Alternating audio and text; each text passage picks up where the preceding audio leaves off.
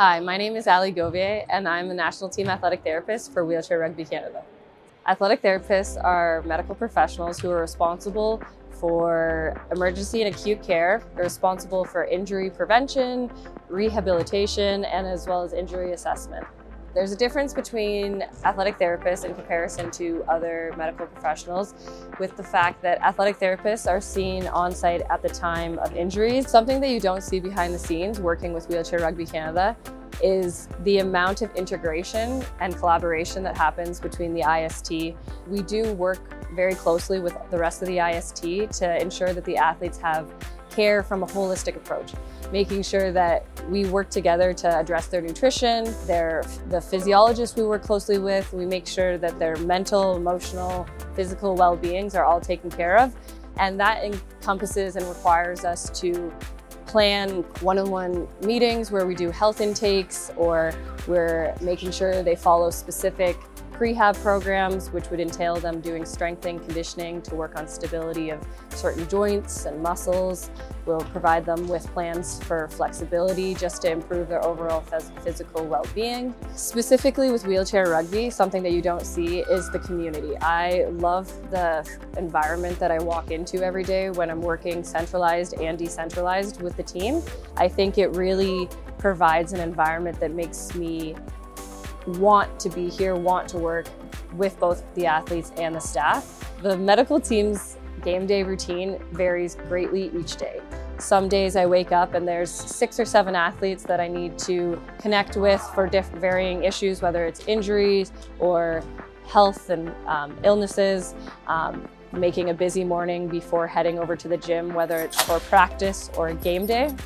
Whereas some days things are slow and quiet, I wake up and I can just do my own personal morning routine before heading over to the gym with the medical team. The medical staff aim to be some of the first staff on site at the gym, so when the athletes arrive, we can get right into tending to whatever that is that they need. Some wound care, taping, we will provide maybe some pre-game, pre-practice stretching, assisted stretching, and or any type of muscle activation.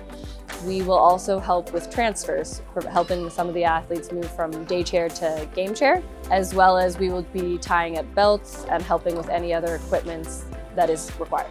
We help with nutrition by providing snacks like bananas, peanut butter and jam sandwiches, granola bars, fruit bars, to ensure that all the athletes have the fuel they need throughout the, the games and all the tournaments and practices. Once the game starts, you'll see us on the sideline observing and ready to go for any assistance that may be required, whether that's covering up any new wounds or providing any type of assistance to equipment adjustments, as well as you'll see us flipping athletes up in their chairs if they're hit and knocked over. Um, after the games are finished, we will help pack up the benches and then provide athletes with assisted stretching. We'll make ice packs and ice bags so the athletes can properly recover recover.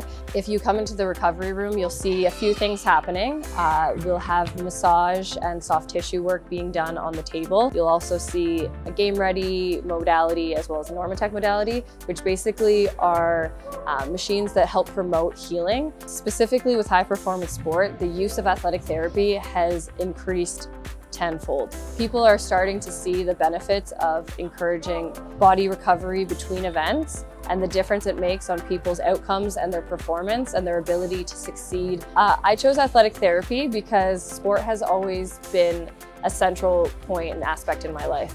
As, as a kid, I played multiple sports across different disciplines, and it was a huge impact and made a huge difference in my life. I always knew I wanted to work with high performance athletes. Um, however, parasport kind of took me by surprise. I would encourage any woman in sport, any athletic therapist in general, to get involved in parasport. It's such a untapped area. It has a level of complexity that is super unique. Something that parasport has brought into my life is knowing that I'm always going to be learning.